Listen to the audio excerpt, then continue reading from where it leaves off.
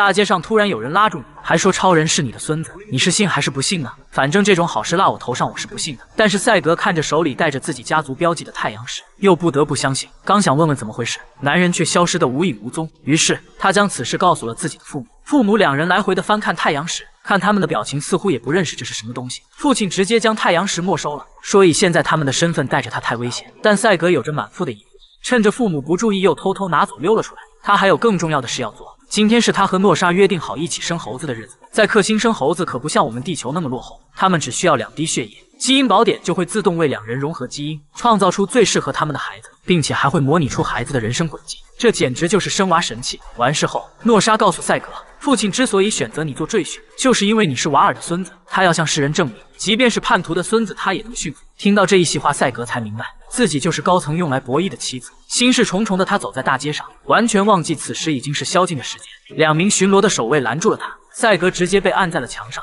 在进行搜身时，搜到了他身上的太阳石，并询问这是什么。赛格无法解释，只好转身将两名士兵打倒，捡起掉落的太阳石，撒腿就跑。守卫反应过来，举枪就射击，奈何枪法太差，一枪都没打中。赛格慌不择路，跑到了死胡同，眼看守卫就要追上来了。就在危急时刻，身后突然亮起一道强光，赛格转身看去，一艘飞船突然出现在眼前。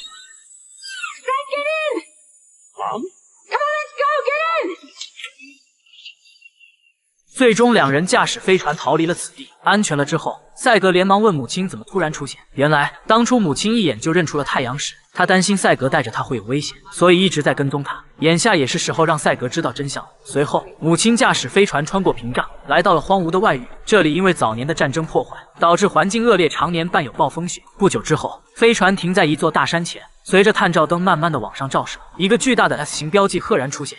Welcome to your grandfather's fortress of solitude.